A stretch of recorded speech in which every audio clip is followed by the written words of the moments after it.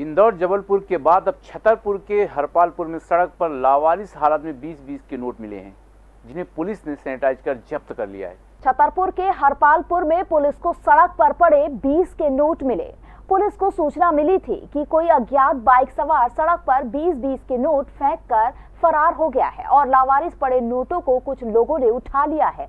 मौके पर पहुँची पुलिस ने उन नोटों को बरामद कर लिया और जिन लोगों ने यह नोट उठाए थे, उन्हें प्रशासन की मदद से क्वारंटीन कर दिया गया है। आशंका जताई जा रही है कि कोरोना महामारी के चलते असामाजिक तत्वों द्वारा नोटों को संक्रमित करके फैलाया गया है। गौरतलब है कि छतरपुर में अभी कोरोना के मरीज़ नहीं मिले हैं। पुलिस मामले की जाँच में जुट गई है।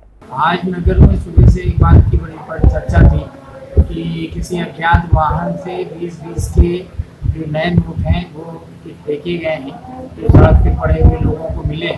इस सूचना पे तत्काल मैंने सक्रिय कर, अपने कर्मचारियों को सक्रिय किया और वो गए रोड के ऊपर। उन्होंने देखा जिन लोगों ने पैसे इकट्ठे किए थे, उनसे बात करके उसे वापस लिया गया।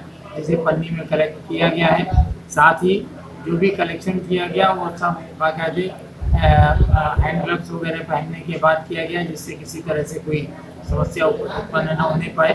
कुछ नोट मिले हैं, कुछ नोट जिन लोगों के हाथ में हैं, उन्होंने अभी उसको बताया नहीं है, किंतु कोशिश हम कर रहे हैं कि वो नोट भी हमको प्राप्त हो जाए, क्योंकि संभावना है, हो सकता है कि ये नोट संक्रमित भी हो सकते हैं। उस संभावना के आधार पर हम उस पर कार्रवाई कर रहे हैं।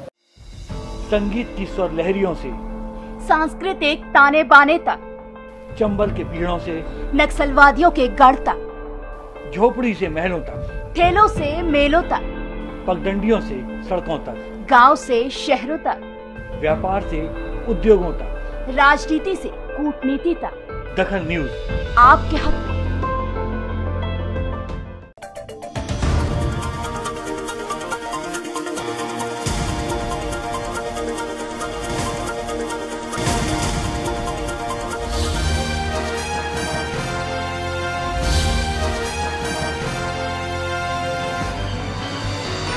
आप देख रहे हैं दखल न्यूज़।